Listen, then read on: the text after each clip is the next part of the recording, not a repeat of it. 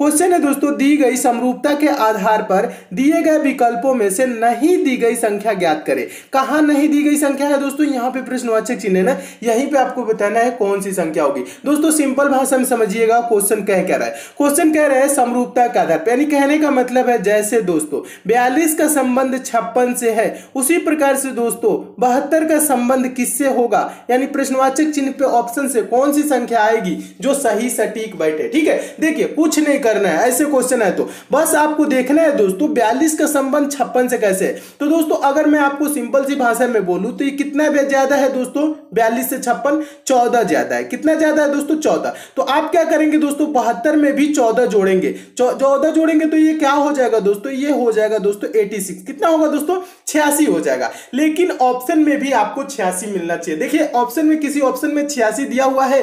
नहीं दिया हुआ है। इसलिए दोस्तों, हम इस टाइप से इस प्रश्न को सॉल्व नहीं करेंगे।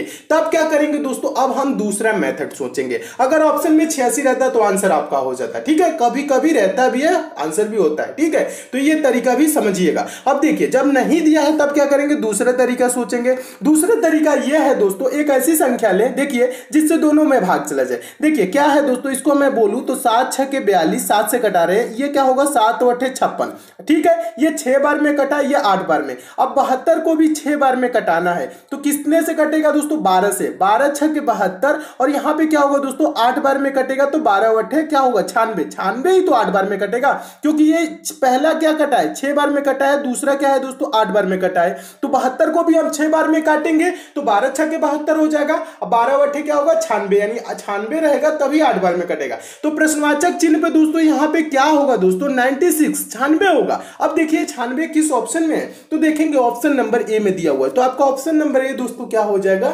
सही हो जाएगा। तो मैं उम्मीद करता हूँ, दोस्तों, आप इस प्रश्न को बहुत अच्छे तरीके से समझ गए होंगे और इस टाइप के क्वेश्चन आपके एग्ज़ाम में आएगा तो आप अच्छे से सॉल्व कर लेंगे।